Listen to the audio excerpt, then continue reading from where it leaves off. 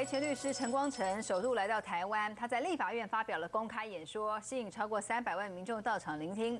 那么刚好是立法院发生了一些朝野立委推挤冲突，这时候陈光诚他说，宁愿在立法院里面推挤，也不要开坦克到大街上乱闯。这获得了全场的掌声。不过也有人不给面子，当场跟他呛瞎，让气氛很尴尬。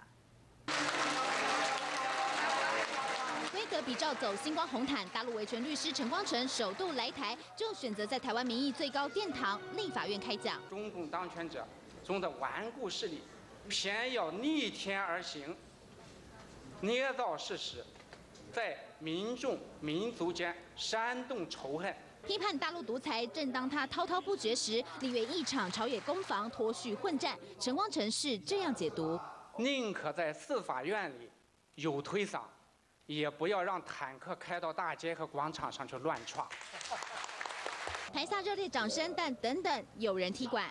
你不敢公开谴责的话，那么你就是美国全养的稻草人，你只是终究是一个汉奸，这一点我是跟你不断，老板对。